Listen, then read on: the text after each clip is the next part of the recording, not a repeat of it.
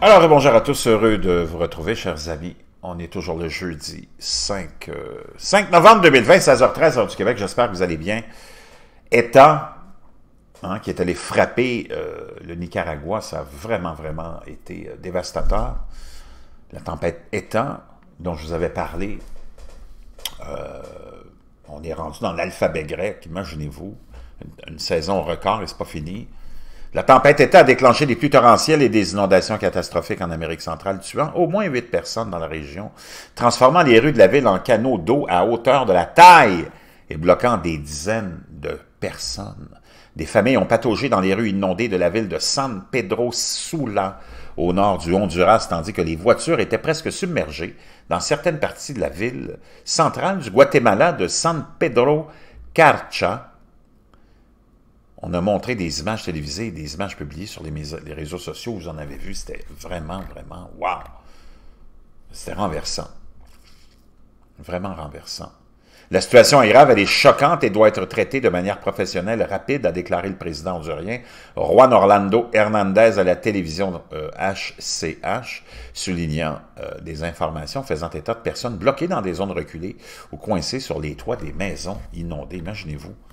Les dégâts euh, et les, euh, pardon, les dégâts les, destructions s'étaient répandus dans la grande majorité du pays et des hors-bords et des hélicoptères sont envoyés pour secourir les personnes dans les zones inaccessibles, a déclaré Hernandez.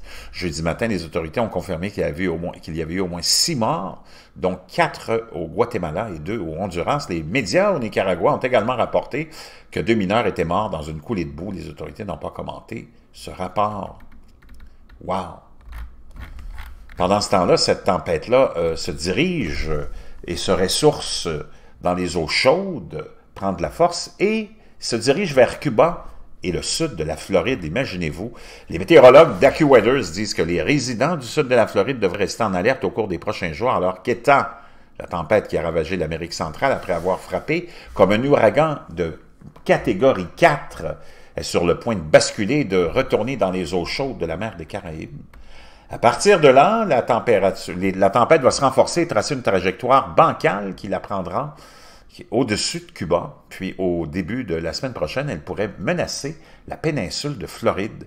État pourrait à nouveau atteindre la force des ouragans sur son chemin vers Cuba, et à ce stade, les, météorologues d'AccuWeather s'attendent à ce qu'il s'approche du sud de la Floride comme une tempête tropicale. Il semble qu'État ne, ne fanera pas ou ne se fanera pas seulement cette semaine au-dessus de l'Amérique centrale, car une partie de la circulation de la tempête en diminution est susceptible de survivre et de rentrer dans les Caraïbes occidentales, où le processus de réorganisation et de renforcement est inévitable, a déclaré Mike Dole, météorologue principal d'AccuWeather. On peut voir ici la direction qu'elle prendra. Wow! Outre euh, Cuba et la Floride, les habitants du sud-ouest des Bahamas sont instamment priés de suivre de près les progrès d'État. D'autant plus que le système émerge de la zone autour du Belize, du Guatemala et du Honduras tard jeudi soir, ou tôt vendredi matin, les Keys et la péninsule de Floride ont largement évité les impacts au milieu d'une saison des ouragans records dans l'Atlantique qui a engendré 28 systèmes nommés. Aucun débarquement n'a encore eu lieu dans l'État cette saison, mais les prévisionnistes disent que la région n'est pas encore sortie du bois. L'État peut constituer une menace importante pour les vies et les biens et, le tout, et euh, à tout le moins, une interruption des activités quotidiennes et des voyages tard ce week-end. Et au début de la semaine prochaine, la tempête faisant au moins quatre morts mercredi, les prévisionnistes s'attendent à ce que des inondations potentiellement mortelles, mortelles et catastrophiques se poursuivent en Amérique centrale pendant le reste de la semaine, alors qu'État se déplace dans la région. La tempête était située à 80 000 au-dessus, euh, plutôt au sud-ouest de la euh, Seba ou Seba, au Honduras jeudi matin et s'était considérablement affaibli et a été rétrogradé à une dépression tropicale tard mercredi. Donc, euh, on s'attend des, vraiment des pluies extraordinairement décourageantes pour ces gens-là, en plus d'avoir été frappés.